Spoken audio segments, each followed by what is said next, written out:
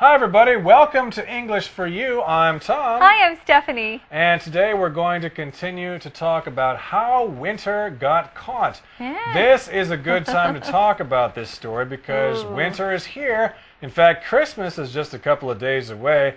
And of course, during the winter, it can be very, very cold. And if you don't like winter, maybe you would like to catch winter for yourself. But I don't know if I could keep winter uh, a prisoner like the Lord did. I think that's mean. Besides, I kind of enjoy the other seasons too. Would you really want to have winter with you all the time? You get tired of any season if it's there all year.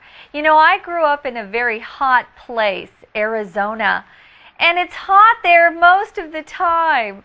We really only have two seasons, so I kind of enjoy having four seasons. There's more change, more variety. Mm-hmm. Well, I'm from the northern United States, and winter is okay. Yeah? Everybody loves the first day when it snows because they go, Oh, it's so pretty. I love winter.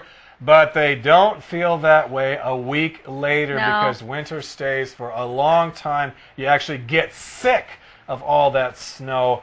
And I guess that's how these other three seasons felt here about winter. Remember, they were actually people who were controlling the world or controlling the universe, but they decided that they wouldn't do this in turn anymore. They wanted to get rid of winter. And in the end, she was captured by this lord in a castle, and that's where we left off. So let's begin our lesson today and find out what happens next.